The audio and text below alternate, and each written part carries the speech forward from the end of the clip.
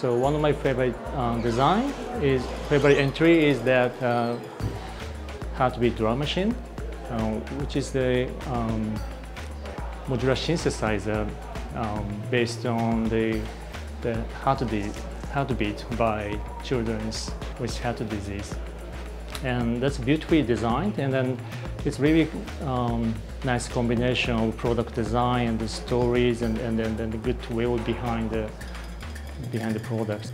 The, the reason we, we love the, the work is that like uh, the amount of energy of the crafts of the all the product design and also the way of making the, making the product. They making the, the just one promotional product rather than like a mass production, and then they um, selling it as a, as an auction, and then they the, the money will donate to the, the foundation.